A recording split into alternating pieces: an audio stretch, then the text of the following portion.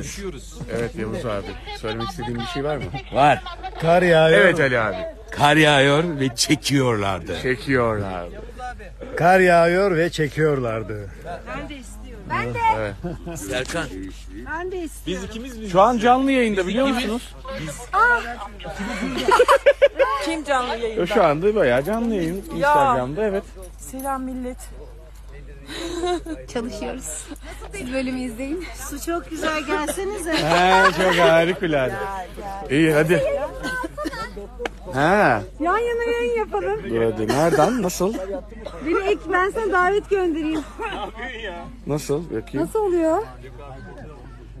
Ee, sen herhalde istek gönderebiliyorsundur bana. Değil Hatırla mi? isteği gönder. Dur bakayım göndereyim. Gönder bakayım. Gönderdim. Evet evet şimdi Hazal geliyor. Nerede? İsteği mi? Soru Nerede? işaretinde falan altta bir yerde çıkar. Ecem o burada değil. Evet.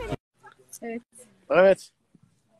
Ee Eser Bey. Şu anda Hazal Hanım'la canlı yayın yapacağız da. Gönüllü Ağa'nın tepesindesiniz. Evet. Şu an yan yana Eser'le canlı yayın. Gerçekten.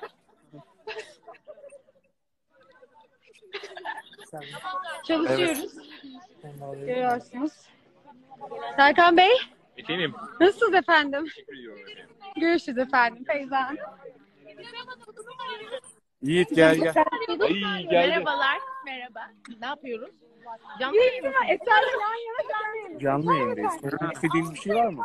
Çok eğleniyorum. Setimiz çok güzel. Çok Canlı eğleniyorum. Bir şey yok da ya. Hazal! Şuradaki insanlarla neden canlı yayın yapıyorsun? Hazal! Hadi kapatıyoruz. Kapatıyoruz hadi. Dur ama Ali Bey'i göstermezsem hocam. Cehennemcim. Kar yağıyor. Söylemek istediğin bir şey var mı? Kar yağıyor ve çekiyorlar. Cihat da konuşur oradan. Değil mi? Evet. Canlı. Evet şu anda can, evet şu anda yan canlı yayındayız. Hadi kapattık. Evet. Görüşmek dileğiyle. Görüşürüz hoca kızıyor.